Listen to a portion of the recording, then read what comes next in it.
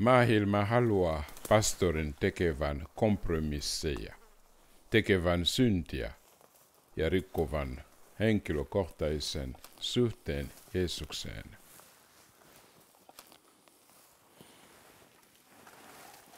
Rakasta Jumalaa ja palvelaa ihmisiä hänen kanssaan on suuri ilo. Se pitää mielen tasapainossa ja irti stressistä.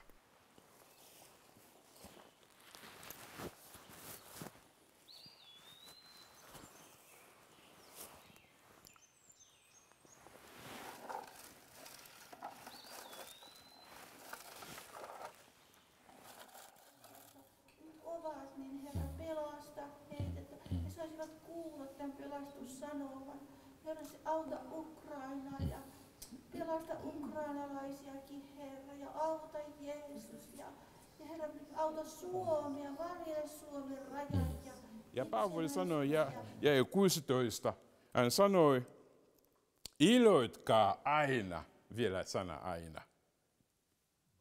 Sillä oli, me, te, me teemme hyvää aina, ja täällä iloitkaa aina. En tiedä, onko tämä helppo. Aina iloitkaa. Onko mahdollista? Sinun oma kokemus. Onko helppo aina olla iloitkaa? Ei ole. Että se on helppo meille olla iloinen, kun kaikki on ok. Mutta kun tulee tilanne, siellä me opimme, tiedämme, että me olemme todella iloinen. On mahdollista, kun on ongelma. Mutta kun kaikki on kunnossa, on vaikea tiedämme. Mutta kun tulee eh, jotakin, ja sen jälkeen me voimme sanoa, että jaa, minä opin jotakin. Mutta Paavoli toivoo, että sinä ja minä iloitkaa aina. Osaamme olla iloinen, halleluja. Ja se on raamattu toivo, ja se huoltaa hyvin. Siksi me emme tarvitse pieni katkeruus meni siellä. Jotakin vihaa asenne tuli.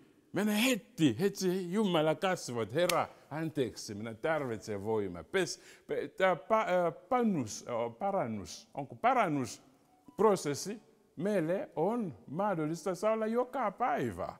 Jos jotakin meni huono sinun oma elämä erän kanssa, mene suuran keskustella iskan kanssa, että hän pesee ja menemme eteenpäin.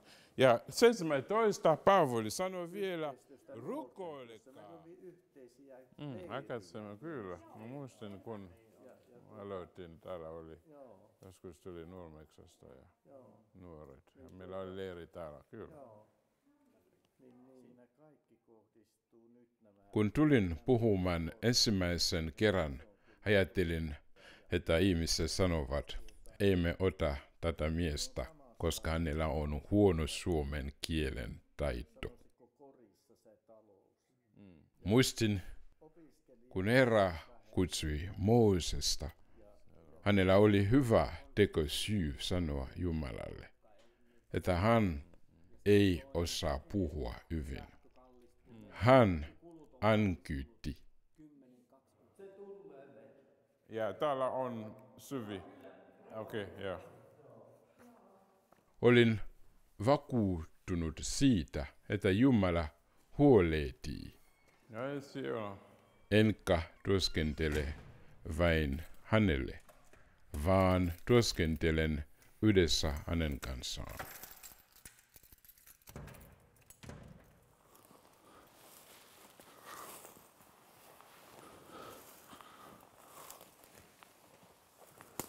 Olen syntynyt Kongon tasavallassa Afrikassa. Elämän Kongossa voi olla hyvää ja myös todella vaikeaa. Kyse on enemmän fyysisestä voimasta. Jaksaako mennä metsän ja löytää mitä syödä?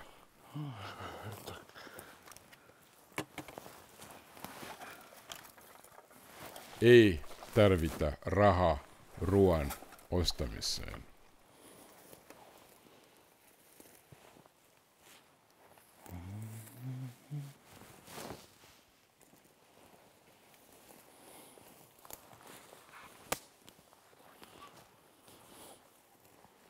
Ei ollut sähköä, ei telkaria, vain radioita voi joskus kuunnella. Joo. Vanhemmilla on unelma, että lisää lapsia, lisää siunauksia. Ajatellaan, että toisista tulee isona esimerkiksi lääkäreitä ja he voivat auttaa vanhempiaan toimiessaan näissä ammatteja.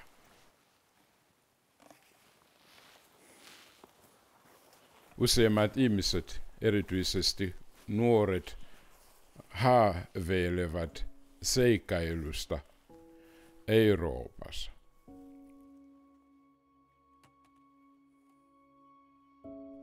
Elä on paremman elämän toivo.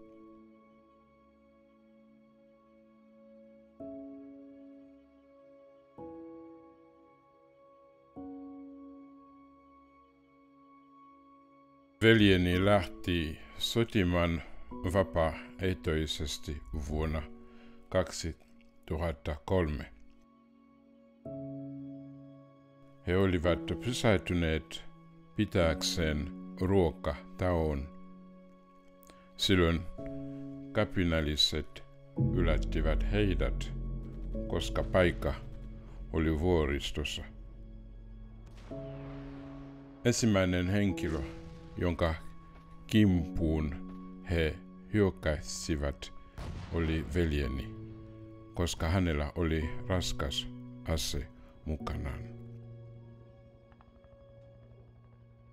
Hän ei voinut liikkua, kun taas toiset juoksivat paniikissa. Kukaan ei voinut auttaa häntä.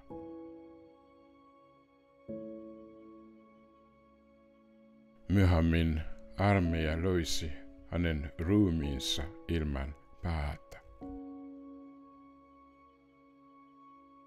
Emme koskaan nähneet hänen ruumistaan, emmekä ole voineet haudata häntä.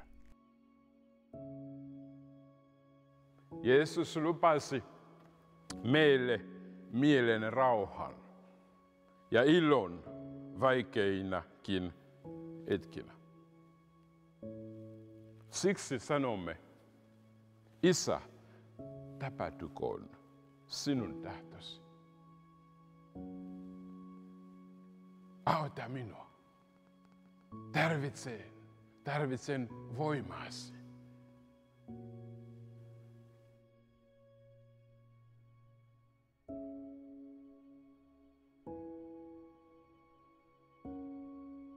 Jos suostumme kokemaan vaikeita aikoja hänen kanssaan, ikään kuin käymään joka päiväistä koulua. Opimme lisää ja meistä tulee kypsyä kristittyjä.